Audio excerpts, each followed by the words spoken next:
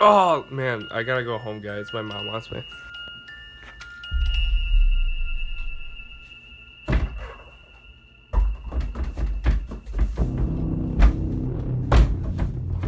It's locked.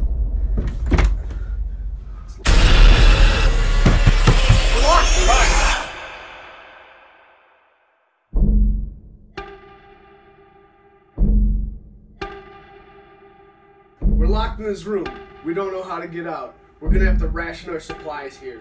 We have a bag of pretzels, a couple of half-drinking sodas, and some Febreze. We're gonna have to make it last till next week.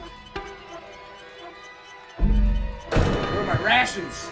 It's my turn for the rations, guys. Where are my rations?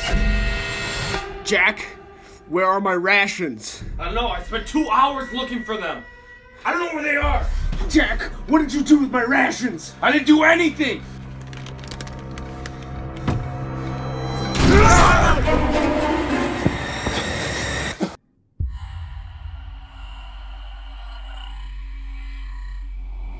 Keep your composure!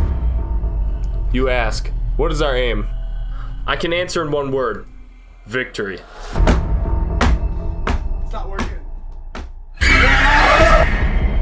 Victory at all costs. Victory in spite of terror. Victory, however long and hard the road may be. For without victory, there is no survival.